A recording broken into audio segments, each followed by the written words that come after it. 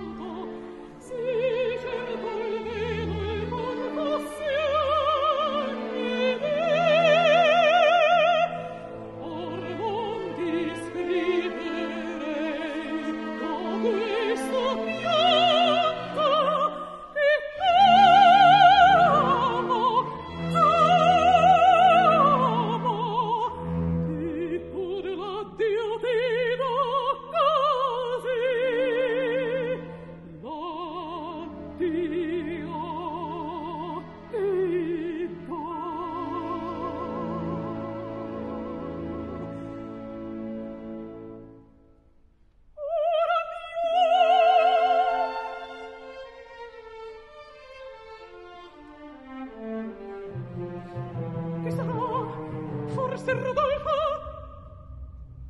nessuno. Ah, che forte voglio! Tanto ah, voglio! Signor Giovanni, unitemi! Scusate!